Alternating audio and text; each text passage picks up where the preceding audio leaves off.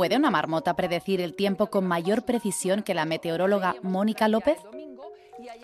En la primavera climatológica, que son Mónica López dirige el Departamento del Tiempo de Radio Televisión Española desde el año 2008, pero trabaja como meteoróloga en los medios de comunicación desde 1997.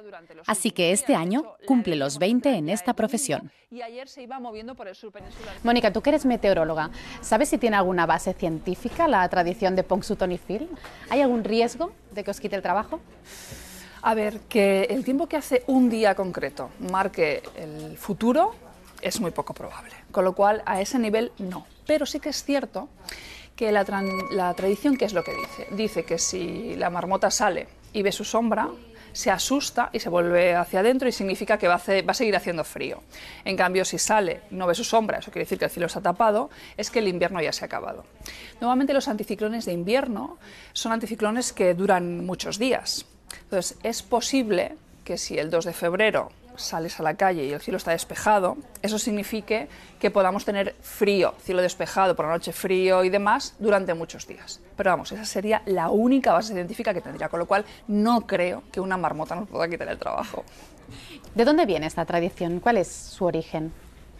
El origen tiene de las tradiciones es como el origen de los refranes, ¿no? De hecho, nuestra marmota es la candelera en la candelera o la candelaria. En España también hay muchos refranes que hacen referencia al mismo fenómeno. En catalán, por ejemplo, hay un refrán que dice, si la candelera riu, el fred es viu. Si la candelera se ríe, eh, el frío sigue vivo. ¿no? Y es la misma idea de la marmota es un poco lo que te decía antes, es cuestión de observación. Los refranes son observación de la naturaleza y ver qué consecuencias tiene día tras día, año tras año. ¿no? Pues vendría más o menos a decir lo mismo, ¿no? que pues eso, que si en invierno, en pleno invierno, principios de febrero, pleno invierno, tienes un tiempo muy estable, pues puede ser que siga más.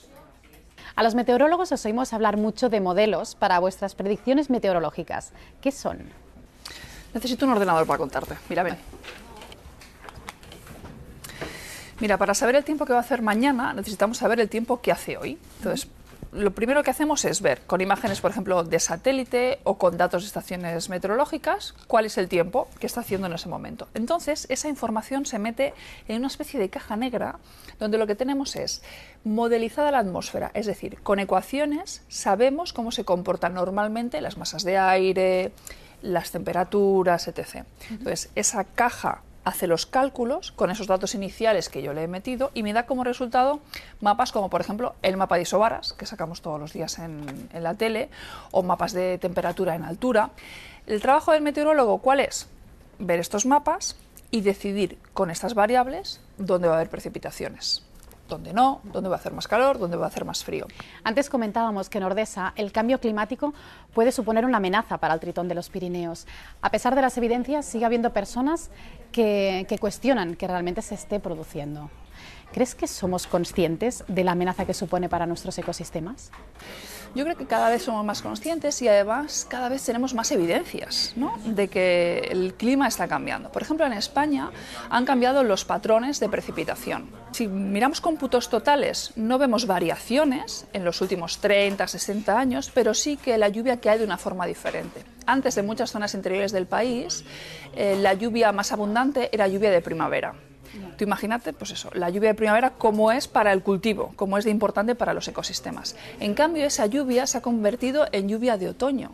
No tiene nada que ver el ciclo de la vida de un cereal si la lluvia buena le cae en primavera o le cae en otoño. Y eso ya es un cambio que se ha producido.